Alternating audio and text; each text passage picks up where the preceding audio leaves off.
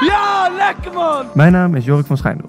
Ik ben 15 jaar en ik vind het leuk om video's te maken en te vliegen met vrienden. Dit ben ik. Lekker!